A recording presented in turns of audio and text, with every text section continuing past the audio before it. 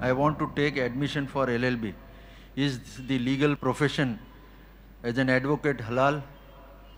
Advocate का profession फ़ी नफ से ही हराम नहीं है अगर उसमें आप झूठ ना बुलवाएँ, झूठी ओथ ना दिलवाएँ तो ये हराम वो शय है फ़ी नफ से ही तो ये है कि वकील जो है, वकालत वो तो कारोबार में भी किसी का वकील हो सकता है कोई और इसी तरीके से किसी के मुकदमे को पेश करने के लिए कानून से आप वाकिफ नहीं हैं।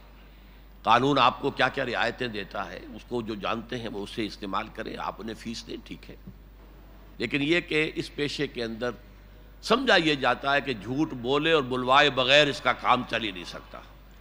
तो ये बात दूसरी है, बिल्कुल अगर ऐसा है, लेकिन अगर कोई आदमी जो है झूठ बोले और बुलवाए बगैर अगर वकालत का काम करता है तो उसके लिए जायज़ है। एक स्टेज पर आकर तो मैं समझता हूँ ये मुमकिन हो जाता है।